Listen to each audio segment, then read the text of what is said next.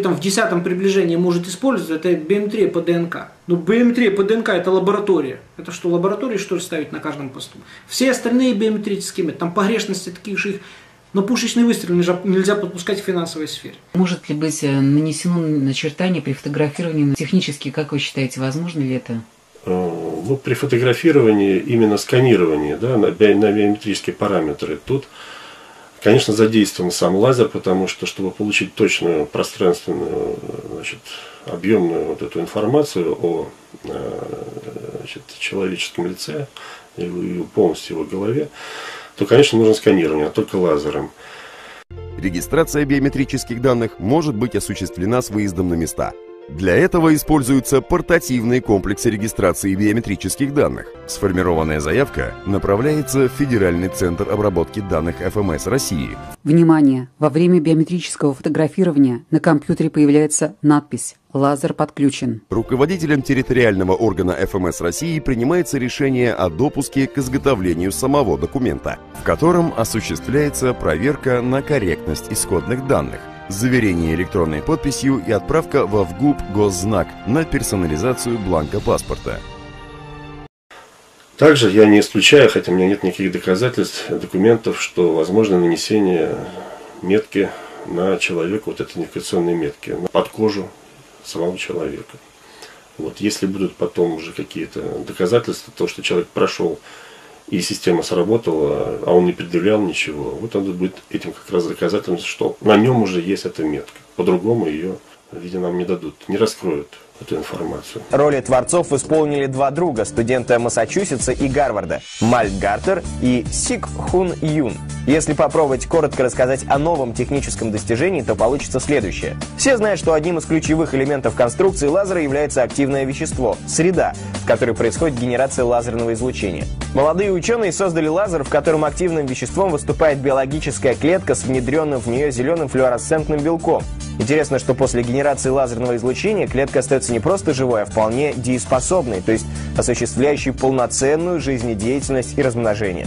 Новые клетки получили название биофотоники. На данный момент исследователи ведут разработки модифицированных одноклеточных живых организмов, способных объединяться в колонии – уже сейчас полученные биофотоники можно использовать для коррекции зрения и сбора данных о биологически активных веществах в организме. Построим эту систему управления, когда мы все наше имущество, всю нашу жизнь поставим в зависимости от этого документа, который связывает меня и систему, вдруг обнаружится, что он не защищен от подделок, потому что биометрия ошибается, потому что биометрия подделывается, потому что биометрия это вообще не то, что использовать в этих системах. И тогда возникнет вопрос безопасности он выплывает автоматически.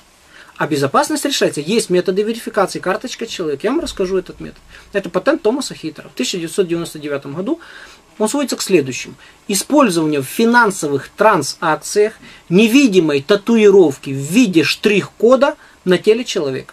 Она невидима для человеческого глаза. Она наносится, и человек не чувствует, как она наносится. И вот этот-то штрих-код на лбу полностью обеспечивает верификацию. 100% гарантированно. Во-первых, наносится число. Не биометрия, а число. У нас все системы идентификации не по биометрии. У нас нет базы данных биометрического параметра радужки глаза населения всей страны. Есть такая база данных? Нет. А какая есть база данных? СНИЛС информация, СНИЛС информация, СНИЛС информация. Что идентификатор? Оборочка, оболочка глаза там или отпечаток пальца или СНИЛС? Что? СНИЛС, так, у нас база данных построена на цифровом идентификаторе или на, би, или на биометрической идентификации? На цифровом идентификаторе. Биометрические параметры нужны, как раз для того, чтобы подтвердить, что номер принадлежит только этому человеку. Номер связан с биометрией, биометрия с человеком, а номер с базой, но это одно и то же. Без номера это не имеет смысла никакая биометрическая информация, просто биометрическая информация. Потому что э, искать в базе данных по биометрическим параметрам это совершенно ну, большие затраты вычислительных мощностей, колоссальные. По номеру это делается мгновенно практически. Вообще под сомнение не ставится трехмерное сканирование. То есть она изначально пошло как нечто необходимое, потому что у всех это вызвало ассоциацию просто фотографий. А фотография в документе ни у кого не вызывает вообще никаких сомнений. Конечно, фотография должна быть, потому что это основной верифицирующий признак. Но подождите, это же не фотография, это ведь совсем другое изображение – это сканированный образ лица. который не оправдан для младенца. Для чего младенцам сканировать лицо? Оно изменится, оно меняется каждый, каждый месяц. Как вы будете верифицировать по этому признаку? Да никак. Потому что сам по себе этот образ нужен постольку поскольку. Надо что? Провести верификацию или связать карточку с человеком посредством цифрового идентификатора.